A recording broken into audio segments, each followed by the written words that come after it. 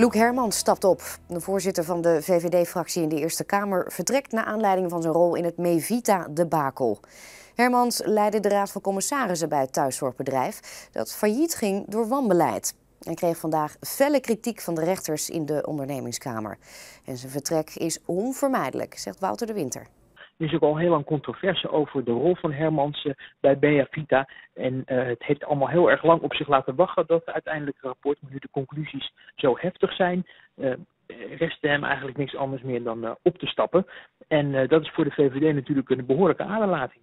Maar vergeet ook niet dat Luc Hermans als voorzitter van die grootste fractie in de Senaat een hele belangrijke rol in de VVD vervulde. Hij was lid van het kernteam, dat is eigenlijk de, de de groep mensen die de dagelijkse handel en wandel van de VVD bespreken. Daar zit bijvoorbeeld ook de premier bij, daar zit VVD-fractievoorzitter in de Tweede Kamer Halbe Zijlstra bij, uh, maar daar zit bijvoorbeeld ook de partijvoorzitter bij. Het is een, een groepje uh, met eigenlijk de hooggeplaatste VVD'ers die uitmaken welke kant het op moet met die partij. En dat één daarvan op zo'n pijnlijk rapport dan ineens moet opstappen, dat is natuurlijk uh, een hard gelach voor de liberalen. Het interessante is wel dat er nu in die Eerste Kamerfractie nog een heleboel andere politieke uh, houten methoden van weleer, zal ik ze maar even noemen, zitten.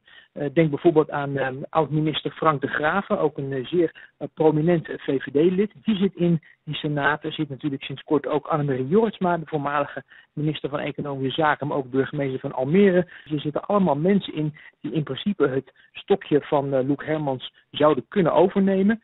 Uh, dus daar zal de fractie waarschijnlijk morgen een besluit over moeten nemen wie dit nou per onmiddellijke ingang moet overnemen. Maar uh, zeker is dat het uh, heel lastig is voor de VVD dat zo'n belangrijke man achter de schermen nu ineens het veld moet ruimen.